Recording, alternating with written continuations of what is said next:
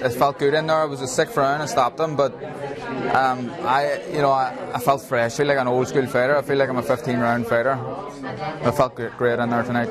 I'm very, very grateful for the support I get. The fans here are fantastic. They're they're loud and proud, and uh, there's there's much more to come. You know, I haven't, I'm not even world champion yet, and they're making that sort of noise. It's great. Sell out tonight, and people absolutely right behind you, and hopefully that kind of support will take you to the very top. That's what we want, and uh, you know, the Odyssey's the, the biggest venue and indoor venue. We're going to have to take it outdoors, just depending on the weather. Maybe potentially Ravenhill, potentially Seaview, maybe, but um, we'll see. Um, but it's a, it's an important factor. That support genuinely adds five or ten percent onto my performance, and I'm very grateful.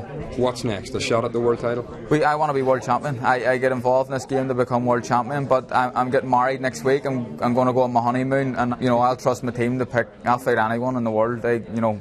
I, I don't. I don't need to be involved in discussions of opponents or anything. I, am ready to fight anyone. As far as you're concerned, it's, it's, a world title next. Is what you want. That's exactly what I want. I want to be world champion, and um, I'm ready to fight for it now. I'm ready to tackle the top boys. World champion will have a, a good ring to it, wouldn't it? It'll be, it'll be amazing. Dream come true. Something I've, I've wanted for so long, and I'm, I'm one fight away.